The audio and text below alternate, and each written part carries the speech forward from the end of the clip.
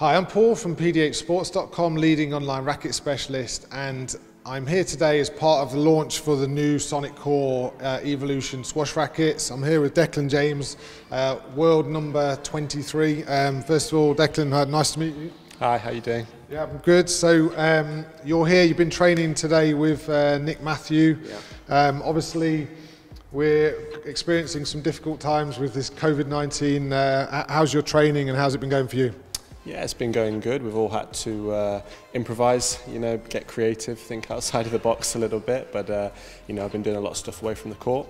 Um, and now the past few weeks, it's been great to get back on, get into the rhythm and start working on uh, different areas of my game with Nick. So, yeah, um, looking forward to the next, you know, couple of months and what's ahead for us. So, uh, I've been here today at Hallamshire Squash Club, like, play testing the new Sonic Core rackets. Um, been really impressed with this new technology. Can you tell us a little bit about how you're finding this new technology into the racket? Yeah, so obviously got my uh, new racket a couple of months ago, but I haven't been able to let loose with it until the last couple of weeks. That's been great to, to get on court with it. You know, I've long been a, a massive fan of the, the longer shape racket. You know, again, it's personal preference, but that's just what, you know, I like. I think um, for, for the average club player, you know, the whole, uh, the vibration thing's a big issue, especially with uh, the original string that you get um, uh, with rackets. So I think what Dunlop have been able to do here with the, with this Sonic Core technology is take out that vibration, which will be, you know, something that a lot of players will be quite will welcome. You know, it's, uh, it's, it's always an issue issue.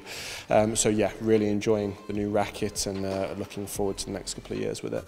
So you've got the uh, Evolution 130, Nick's got the 120. Um, what's your do have you tried the 120 or you know what's your feelings on the weights of the racket? Yeah, I've played around with different weights. Um, again, personal preference. For me, I quite like a kind of uh, an evenly balanced racket, which this is.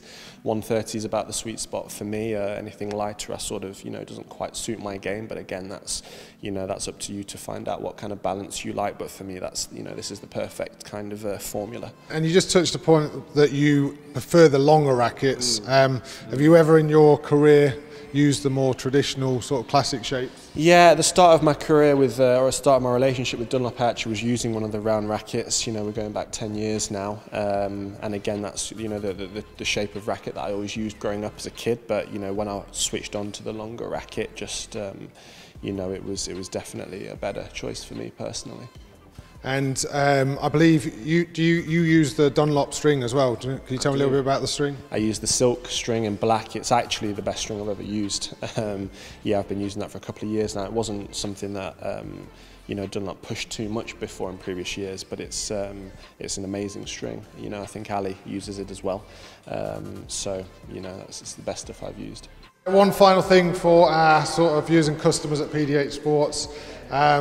I'd like to just give the final reason why they should go out and buy your racket. It's got my name on it.